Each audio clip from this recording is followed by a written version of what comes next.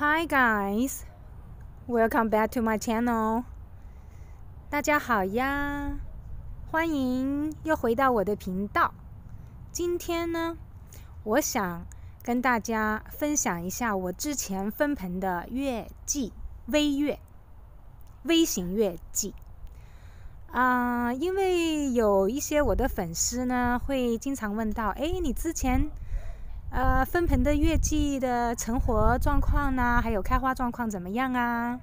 其实我之前也有做过，就是就是插播过类似我这一盆微月的状况，但是有一些花友估计不是很就是仔细的去翻或者是去看。那么今天的话呢，我就专门为它。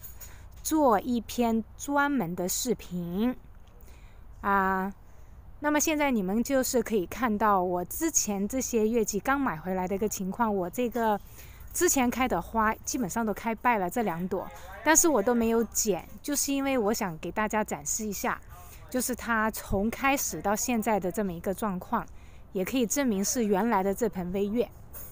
那么好，现在我们先看一下它的根部。那么刚买回来的时候呢，它是一盆一个小盆子，然后里面呢有四株。那么我就给它分盆，分成现在的这个样子。那么你看，这是一，然后这是第二第二株，这是中间这颗是第三株，然后绕过来看，然后这里是第四株。那么每一株的情况呢，大家可以看到哈。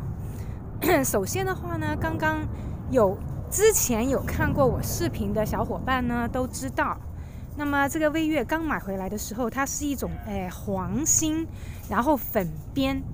那么经过我在这个全就是室外，然后全日照的环境下呢，那么大家看看一下啊，我给大家看一个比较近的。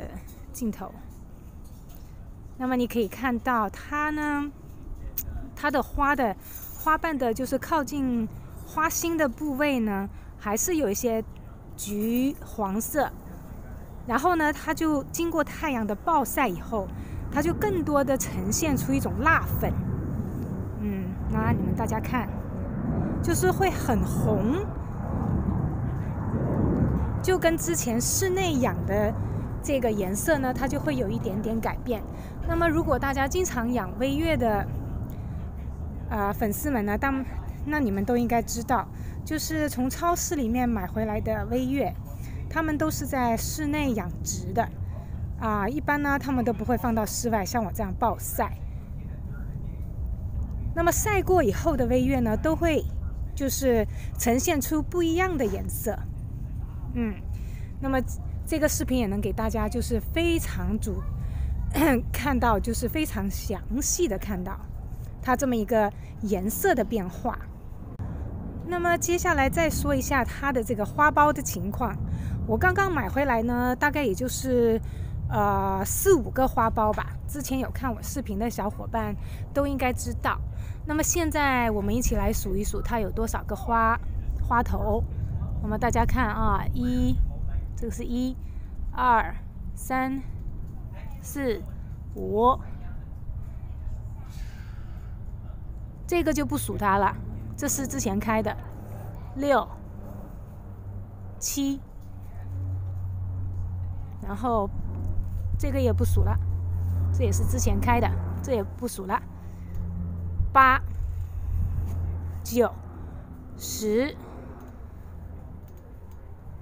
现在是十个，比原来翻了一倍，嗯，那么它的生长状况非常不错，而且的话呢，我每次出大太阳的时候呢，我都会给它喷一种叫做 neem oil，就是叫做链树油。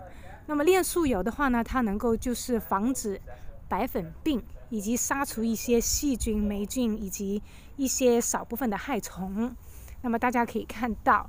我的花的下半部分都是非常的健康，你们可以看到，没有任何受到任何病菌或者是病毒的干扰，非常健康。那么今天这个短视频呢，就跟大家啰嗦那么多。再一次非常非常感谢大家的订阅和支持。那么这一期的这个微月的后续就到此为止啦。啊，谢谢大家的观看，我们下一期再见吧，大家拜拜。